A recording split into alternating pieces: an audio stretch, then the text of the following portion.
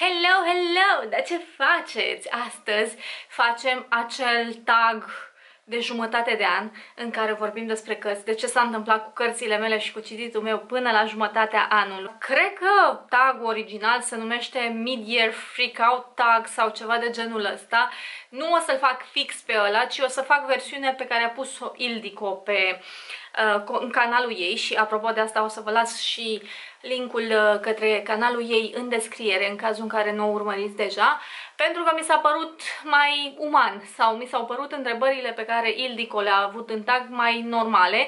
O parte din ele se regăsesc și în tagul celălalt uh, mare, Mid-Year Freakout Tag sau cum eu fizicând, dar uh, ideea este că sunt multe întrebări care, nu știu, mie nu mi se aplică din tagul ăla și atunci am preferat să fac varianta asta pe care a pus-o Ildico, mi-a mi plăcut mult mai mult. O să găsiți întrebările în descriere și rugămintea mea mare de tot este să răspundeți și voi în comentarii la uh, întrebări, să vedem dacă ne-am sincronizat sau nu.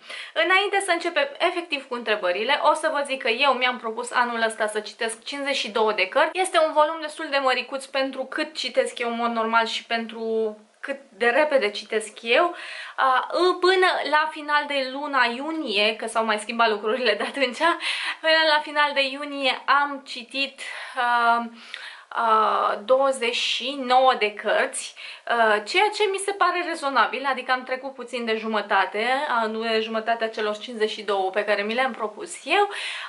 Sunt multe cărți destul de diverse, destul de interesante, din mai multe domenii, pentru că știți că nu citesc doar pe un domeniu sau pe un gen literar, eu mă duc în multe zone și dacă vă mai amintiți voi, la începutul anului am pus un clip cu 23 de cărți pentru 2023 în care îmi propuneam să citesc 23 de cărți pe care mm, mă gândeam eu că la care voiam să ajung anul acesta. Până la final de clip vă las să ghiciți câte am citit și o să vă rog să vă puneți răspunsurile în comentarii și la final de clip vă spun eu câte am citit din alea 23, da? Ca să vedem dacă uh, mă cunoaște sau nu. Așa, ca un mic test pentru voi. Bun, și o să începem cu întrebările pe care eu le-am salvat în telefon. Dacă le mai și găsesc, ar fi ideal, știți.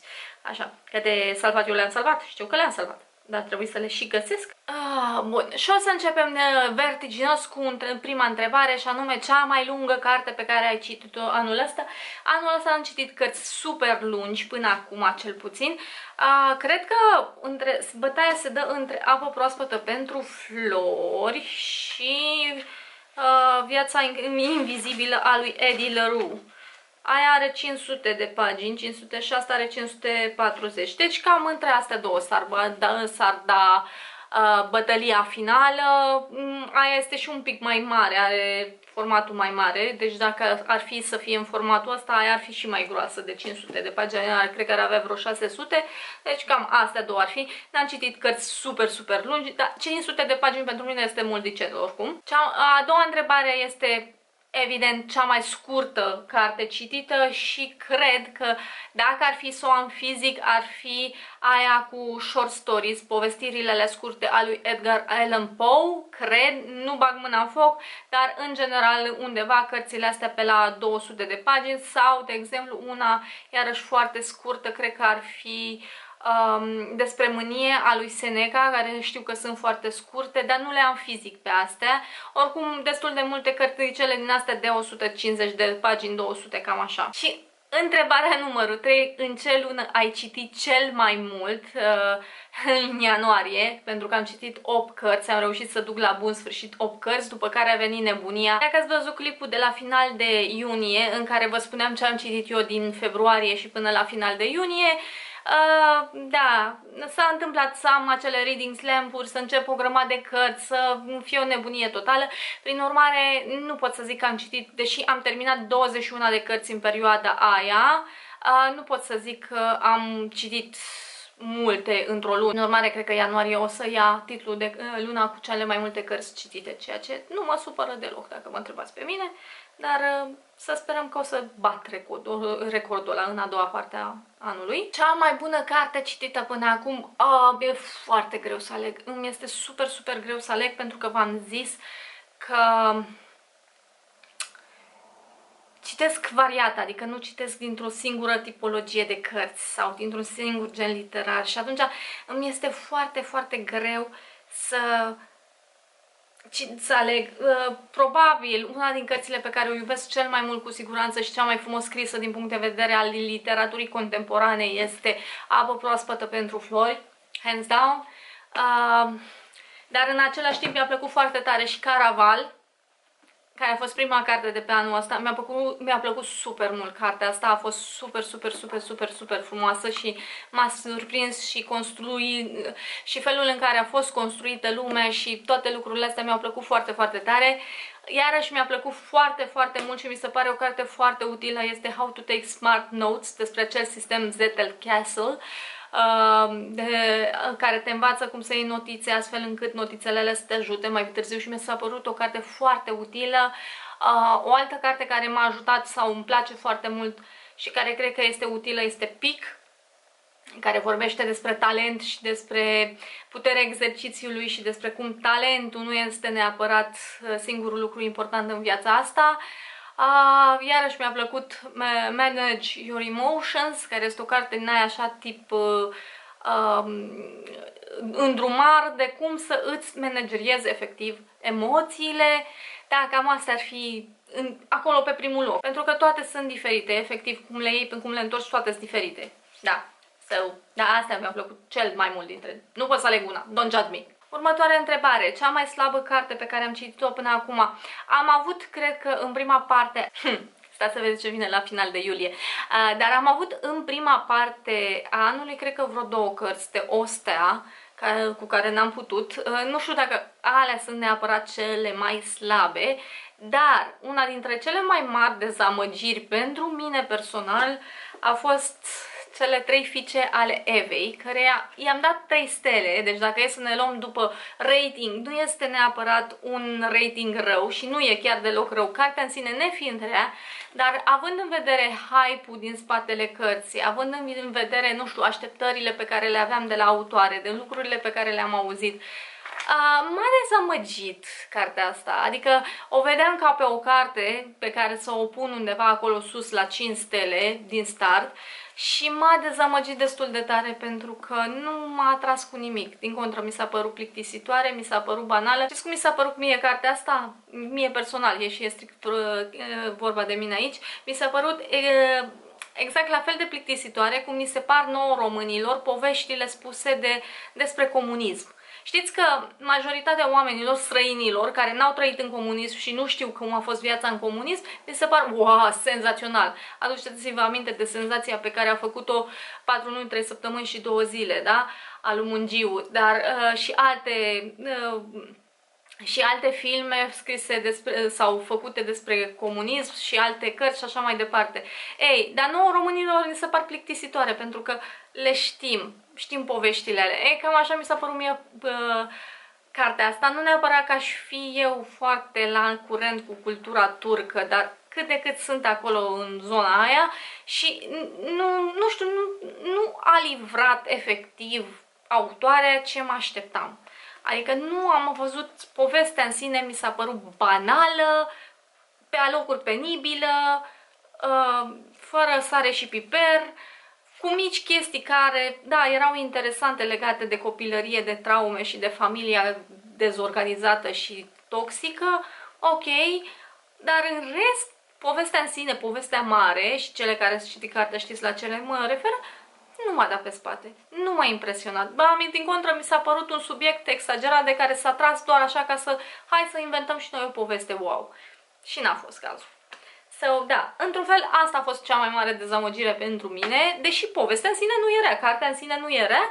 Uh, mi-a plăcut, de exemplu, faptul că autoarea se vede că a citit, a citit foarte multă filozofie la viața ei și caută niște răs, răspunsuri la niște întrebări profunde pe care le uh, caută prin filozofie și citește multă filozofie și se vede treaba asta în carte. Dar în rest, povestea ca poveste, ca o construcție generală. Nu. Întrebarea numărul 6 ne întreabă de o carte care ne-a surprins plăcut. Acum, au fost mai multe, evident, inclusiv Apă proaspătă pentru flori, nu mă așteptam să-mi placă atât de tare cum mi-a plăcut, nici Caraval nu mă așteptam să-mi placă atât de tare cum mi-a plăcut, dar o carte de la care nu aveam așteptări pentru că sunt atât de sătulă de tot ce înseamnă tematica uh, Orientului Mijlociu, viața de acolo, femeile de... Sunt foarte sătulă de poveștile astea, cu tot dragul și tot respectul pentru oamenii ăia și știu că nu e ușor și nu e, nu e plăcut să trăiești acolo, mai ales ca femeie, dar sunt atât de sătulă, sunt arhi sătulă de, de astea. La fel sunt sătulă de tot ce înseamnă tematica celui de-al doilea război mondial, nu mă înțelegeți greșit, da? Deci la fel mi se pare de uah, așa, nu mai pot cu ele. Și de aceea în momentul în care am ridicat cartea asta și a fost la book club-ul meu, pe care apropo îl găsiți în descriere dacă vreți să vă înscrieți, uh, când am luat-o zic, uh, hai să o citesc de dragul book club-ului, dar nu vreau pentru că știu că se duce în zona aia Orientului Mijlociu și nu vreau și nu. Așa. Și am rămas surprinsă. Și este vorba despre splendida cetate a celor o mie de sori de Khaled Hosseini Uh, foarte frumoasă, foarte dramatică scrisă cartea asta și uh, este mai degrabă din perspectiva personală scrisă, nu neapărat din perspectiva politică, că iarăși asta mă deranjează la lucrurile sau la cărțile scrise din uh, zona Orientului Mijlociu, faptul că multe dintre ele sunt exagerat de implicate în uh, zona politică. Evident că există mențiuni legate la de schimbările de regim politic care au existat în perioada respectivă cât au trăit personajele, dar um, nu m-a plictisit atât de tare și nu m-a scăit atât de tare. Deci eu sunt sătulă cumva de zona asta pentru că eu am studiat foarte mult în facultate zona asta a Orientului Mijlociu. Pe asta mi-am dat licența pe conflictul dintre Israel și, pa și Palestina uh, și sunt până peste cap de astea, știți, și nu de-aia vreau să mă țin la distanță, dar cartea asta mi-a plăcut foarte mult din punct de vedere artistic, a fost foarte frumos construită, personajele foarte frumos construite, poveștile uh, relevante și uh, efectiv ai senzația că sunt personajele astea, că uh, practic este o carte de memorii, nu că este o carte nu știu să spunem, de literatură contemporană. Uh, da, deci e o carte foarte, foarte frumoasă și m-a surprins plăcut, tocmai pentru că, iarăși, plecasem cu niște prejudecăți de, de la ea, la fel cum și aici. Aveam așteptări și m-a dezamăgit, aici, din contră, nu aveam așteptări și m-a Așa, apoi, la numărul 7, o carte care te-a dezamăgit. Cred că pentru întrebarea asta, cred că am, salvat, am păstrasem eu, de fapt, uh, cele trei fiice ale Evei, cred că pentru întrebarea asta, dar am zis-o la, la 5. Anyway, uh, oricum, se aplică și aici. Uh, dar o altă carte de care am rămas profund dezamăgită este Până nu se răcește cafeaua și n-am n-am luat-o cu mine, dar Până nu se răcește cafeaua. Na, eu n-am, iarăși, n-am înțeles de ce toată lumea iubește cartea asta. Explicația la care am ajuns de-a lungul timpului, mai gândindu-mă la cartea asta, a fost că este posibil că multă lume este super hăipuită și super agitată și super încântată de cartea asta pentru că vine din, vorbește despre cultura japoneză, care mie mi este relativ străină. Nu am o atracție față de cultura japoneză, coreană, chineză, cum au cei mai mulți oameni. Știu că este, încă este nebunia aia cu coreenii, pe care eu personal nu o înțeleg și e ok că nu o înțeleg și este ok să fie pentru cine o iubește, dar eu personal nu o înțeleg. Și bănuiesc că aici s-a întâmplat un scurt circuit, în faptul că toți, toți oamenii care ridică în slăv cartea asta uh, spun despre ea că este extraordinară. De fapt, sunt oameni care înțeleg cultura japoneză și sunt fani și iubesc uh, cultura japoneză și iubesc și Corea și tot ce înseamnă zona asta și atunci le este foarte ușor să o pătrundă pe când mie nu.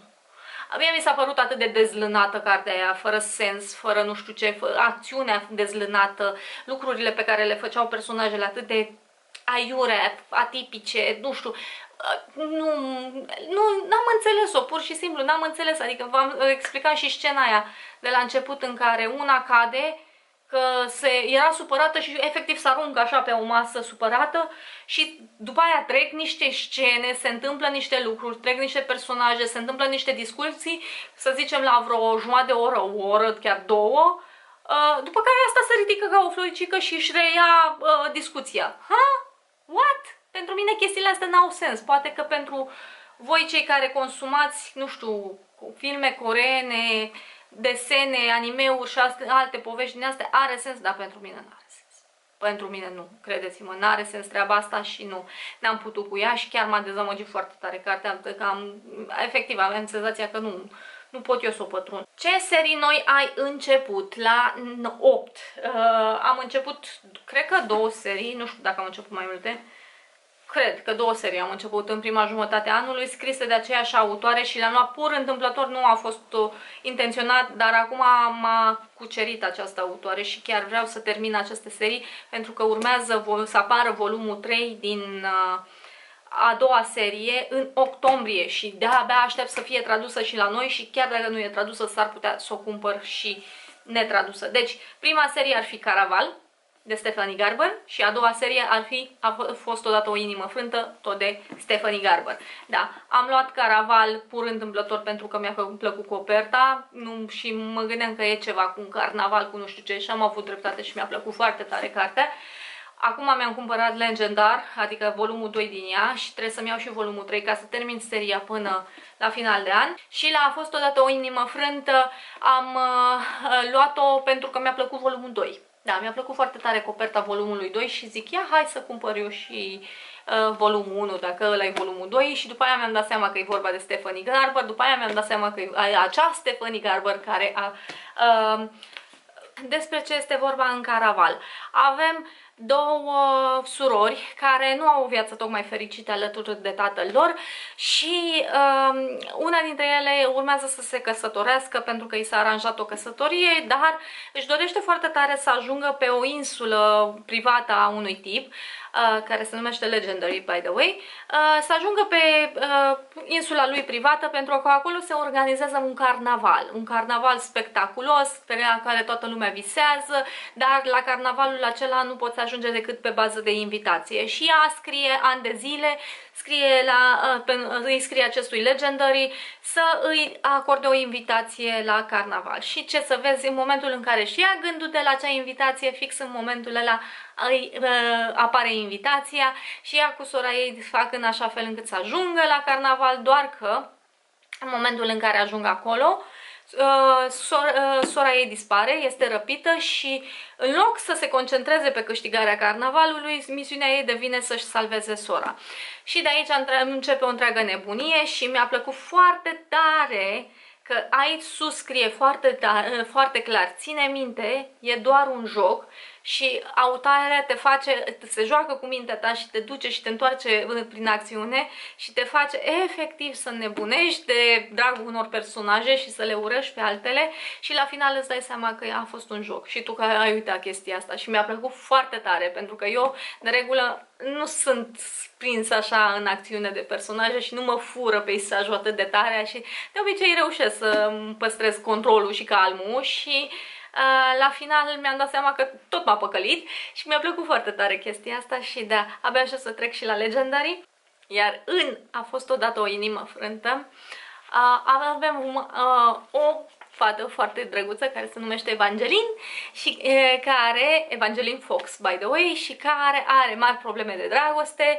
Uh, iubitul ei se căsătorește cu sora ei vitregă, deși el susținea susținutare că o iubește, prin urmare ea se gândește că a fost uh, vrăjit, așa că se decide să ia uh, lucrurile în propriile mâini și se duce și uh, se roagă unei sorți o soartă care este un fel de zeu, semizeu, ceva așa, dar și ăștia au probleme, așa, și se roagă la acel zeu să o ajute efectiv să uh, îi uh, scape uh, iubitul de, o vrajă, de această vrajă.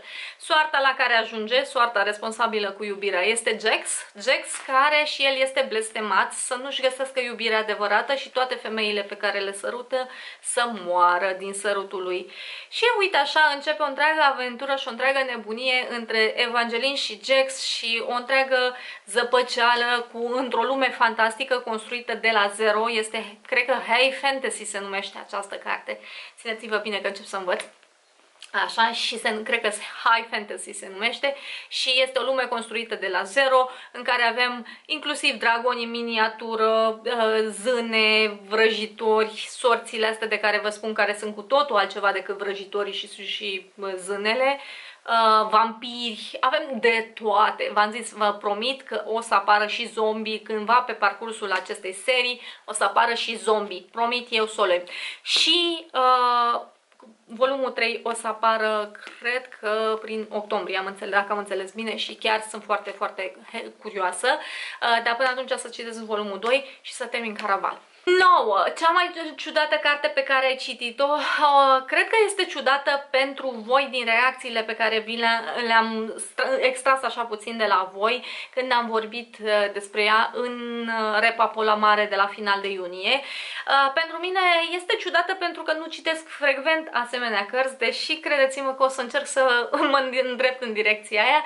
Este vorba despre dosarele criminalilor în serie, este o carte, cum v-am zis, documentar în care se iau mai multe dosare ale criminalilor în serie, din Dumnezeule nu mi iese cuvântul ăsta astăzi, așa, Uh, și sunt analizate, practic sunt povestite de către autor, nu le analizează, ci le povestește și sunt foarte multe dosare, destul de multe, 20 și ceva, 30 și ceva. Am ascultat pe Voxa, nu o am cartea fizic, dar urmează să o am și fizic. Uh, și uh, este ciudată pentru că odată nu citesc așa ceva în fiecare zi, în al doilea rând pentru că nu este pentru toată lumea, așa cum v-am spus de la început, este foarte grafică, cu, cu uh, descrieri și explicații foarte clare a ceea ce au făcut criminalii și, repet, nu e o carte pentru oricine, mie mi-a plăcut, dar și pentru mine a devenit grețoasă la un moment dat, simțeam că mă, mă roade bilă așa și că mă, mă apasă, uh, dar grafică și e ciudățică și este bizară și este neplăcută în același timp, dar efectiv îți creează un portret al genului ăstuia de personaje. Dar mi s-a părut interesantă pe deasupra și mi s-a părut bună de citit, cel puțin pentru mine. Și am ajuns la 10 și imediat vă spun câte cărți am citit eu din cele uh, 23 pe care mi le-am propus. Dar înainte de asta, întrebarea 10 mă întreabă ce planuri am pentru următoarele 6 luni. Uh, evident să-mi ating targetul de 52 de cărți. Știu că nu-i mult pentru unii, dar pentru mine este destul de mult cinticel. Uh, să-mi uh, Fac biblioteca despre care vă ziceam eu de mult timp, da, se întâmplă, o să se întâmple cât de curând, vă promit. Uh, și în al doilea rând ar fi, sau al treilea rând, uh, să termin seria asta cu Caraval și poate să mai citesc din acele cărți pe care mi le-am propus, din alea 23, pentru că, țineți-vă bine, nu știu cât ați spus în comentarii, dar sper că v-ați pus în, acolo uh, răspunsurile în uh, comentarii. Am citit 6 din ale 23. Da. Atât de tare m-a furat peisajul cu alte lucruri și atât de multe cărți am început și n-am terminat, încât am ajuns numai la 6 din cărțile pe care mi le-am propus. Da, bine și așa, bine și așa, nu ne plânge, no, e bine. No, și șamu trebuie să-mi spuneți voi câte ați citit în primele șase luni, câte cărți ați citit în primele șase luni, ce ați citit voi și eventual să răspundeți la uh, întrebările astea. Vă mulțumesc dacă ați rezistat până la final. Puneți un tank din ăla de cărți. Cine a rezistat până la final să pună un tank din ăla de cărți. Ca să fiu eu sigur așa că ați ajuns până la final. Uh, dați un like și un share la clipul ăsta. Dacă mai vreți clipuri cu cărți și să mai vorbim despre cărți, vă pup și ne vedem în următorul clip. Ciao!